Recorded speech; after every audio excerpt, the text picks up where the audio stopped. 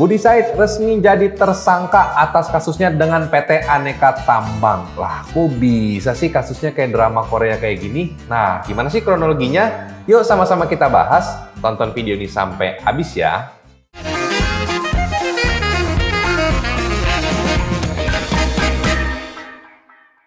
Halo semuanya, selamat datang di channel Halo Mas bersama saya Willy. Jadi di video kali ini saya akan jelasin ke kalian semua kasusnya Budi Said dengan PT Aneka Tambang yang viral ini.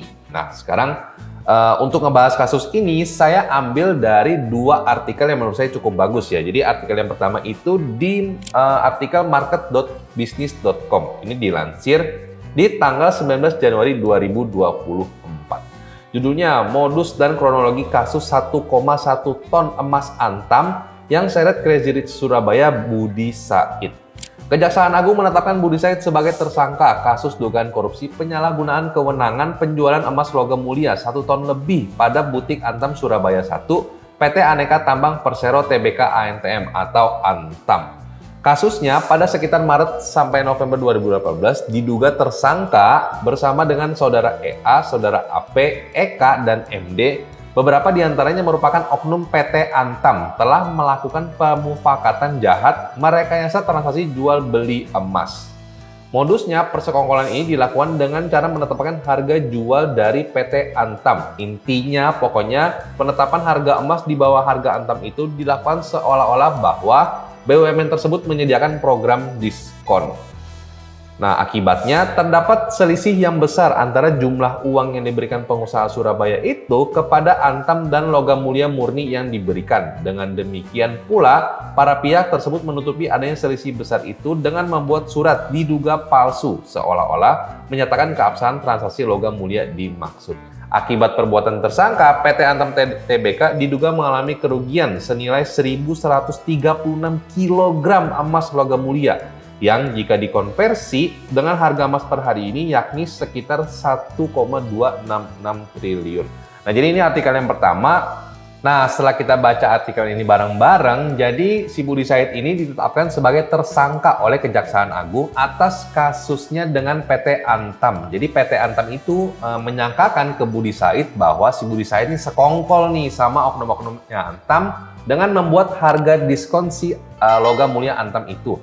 Padahal si Antam nggak pernah ngerasa bahwa produk Antam ini nggak pernah dikasih diskon sama sekali di mana pun. Jadi menurutnya si Antam, si Budi Said ini melakukan persekongkolan dengan oknum-oknum yang kerja juga di PT Antam eh, di cabang Surabaya. Jadi Antam nggak ngerasa ya ngasih diskon. Oleh karena itu, eh, Kejaksaan Agung netapin Budi Said ini sebagai tersangka atas dugaan permufakatan persekongkolan lah dengan oknum-oknum PT Antam. Nah, sekarang kita coba pindah ke artikel yang kedua. Ini menurut saya cukup bagus juga karena ini jelasin kronologinya dari awal. Nah, ini artikelnya dilansir di finance.detik.com. Ini artikel udah cukup lama sih. Jadi ini artikel di tanggal 29 Agustus 2022. Saat Budi Said ini menang kasasi di Mahkamah Agung. Jadi kronologinya itu di 2018 Budi Said beli emas sebesar sebanyak 7 ton ke PT Antam di cabang 1 Surabaya itu di, uh, di tahun 2018 ya. Tapi di akhir pembelian itu kan emasnya kayak diangsur-angsur gitu. Si Budi Said itu nggak nerima 1,1 ton. Jadi 1,1 tonnya itu masih ngegantung. Nah makanya di tahun 2021 si Budi Said ini nuntut ke Pengadilan Negeri Surabaya karena Antam enggak bayar 1,1 ton emasnya itu. Nah di situ Budi Said menang. Kemudian pada uh, tanggal 19 Januari 2021, Antam mengajukan banding dan menang juga atas gugatan pengusaha asal Surabaya itu. Nah, setelah uh, Antam menang, berlanjut ke 2022 lagi, ini uh, kasus ini langsung bergulir ke Mahkamah Agung ya, karena sebelumnya saat banding Budi Said kalah dengan Antam. Makanya dia mengajukan kasasi ke Mahkamah Agung. Jadi dalam putusan Mahkamah Agung, Budi Said menang. Hal itu tertuang dalam isi putusan Majelis Hakim Mahkamah Agung. Jadi di tanggal 23 Agustus 2022. Jadi dalam kemenangan itu PT Antam harus membayar emas batangan sebesar 1.136 kg atau 1,1 juta ton kepada Treasury Surabaya Budi Said. Selain itu PT Antam harus membayar uang senilai 92 miliar. Bingung nggak sih kita? Maksudnya uh, bentar-bentar Budi Said menang, terus bentar-bentar Antam menang. Terus ini kan padahal udah Mahkamah Agung gitu ya, udah udah keputusannya udah final gitu ya. Terus kok bisa kita di tahun 2024 ini kayak dikagetin gitu lagi? Uh, kenapa bisa uh, Budi Said jadi tersangka?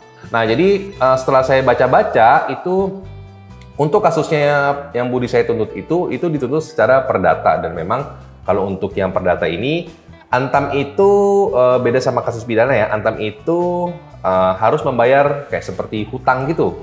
Harus membayar ganti rugi berupa emas yang uh, menurut Budi Said itu harus dibayarin ke Budi Said. Sedangkan di tahun 2024 ini Antam itu ngegugat si Budi Said secara pidana di mana diduga Budi Said ini melakukan persekongkolan korupsi lah ya dengan oknum-oknum PT Antam yang ada di cabang Surabaya. Jadi itulah kenapa kalau misalnya saya juga pertama kali agak bingung gitu sih kok bisa uh, Budi Said menang terus Antam menang terus Budi Said menang lagi udah udah kasasi uh, Mahkamah Agung bilang Antam harus bayar ke Budi Said. Eh di tahun 2024 ini Budi Said malah jadi tersangka. Jadi itu mungkin bisa menjelaskan ke kalian semua kenapa bisa uh, kasus ini tuh kayak drama Korea Nah, setelah sama-sama kita baca dua artikel yang bagus ini, kalau menurut analisa ngasal saya nih ya, ini yang salah itu adalah oknum dari Antamnya di cabang Surabaya.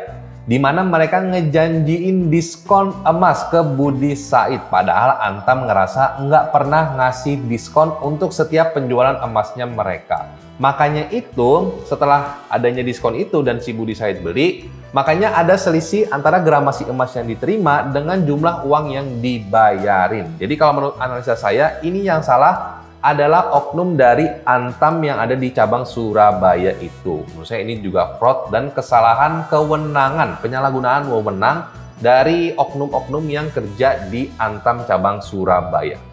Nah, jadi kalau misalnya kita lihat nih, kejadian Antam versus Budi Said ini juga bisa terjadi di kejadian yang lain dengan instansi yang lain, di mana oknum-oknum yang kerja di instansi tersebut itu menyalahgunakan kewenangannya untuk merugikan perusahaan dan menguntungkan dirinya sendiri. Sebagai contoh, misalnya bisa juga uh, di instansi bank, karena ada orang yang saya kenal itu juga bermasalah sama bank. Dia tiba-tiba dapat kolek 5 dan ngerasa nggak pernah pinjem ke bank tersebut. Padahal di data bank tersebut dan di seliknya dia itu ada pinjaman yang memang belum dibayar. Akhirnya ya mau gimana lagi?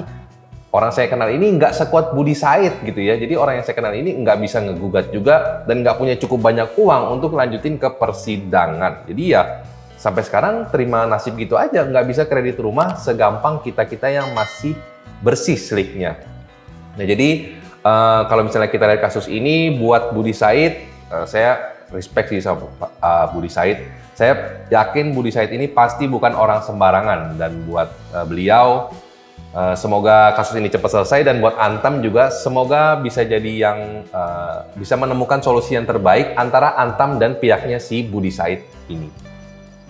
Kesimpulannya, nah kalau misalnya kita belajar nih dari kasusnya Antam versus Budi Said ini, hal apa sih yang bisa kita pelajarin? Kalau menurut saya pribadi, kita nggak boleh tergiur sama diskon untuk produk emas karena memang emas itu diskonnya itu kecil banget dan hampir nggak ada, apalagi khusus produk logam mulia ya. Nah, kalau misalnya kita ngeliat ada produk emas batangan yang didiskon, kita harusnya curiga, bukan malah ngegas. Apalagi diskonnya sampai 15% kayak kasusnya Antam versus Budi Said ini. Apalagi sekelas logam mulia Antam gitu ya. Nggak mungkin banget kayaknya ngasih diskon sebesar itu. Jadi kalau misalnya kita ketemu dengan penjual emas yang ngasih diskon besar gini, itu harusnya wajib tanda tanya. Bukan malah harusnya kita langsung beli tanpa mikir dua kali. Jadi kita harus lebih hati-hati kalau misalnya kita ketemu kasus emas diskon seperti kasus Budi Said ini. Nah, jadi gimana guys? Setelah kalian nonton video ini, menurut kalian hal apa sih yang bisa kita pelajarin dari kasusnya Antam versus Budi Said ini? Coba dong share di kolom komentar. Oke guys, itu tadi video saya tentang kasus Antam versus Budi Said share ke teman-teman kalian yang mungkin membutuhkan informasi ini. Jangan lupa like kalau kalian suka dengan video ini, dan kita ketemu lagi di video selanjutnya.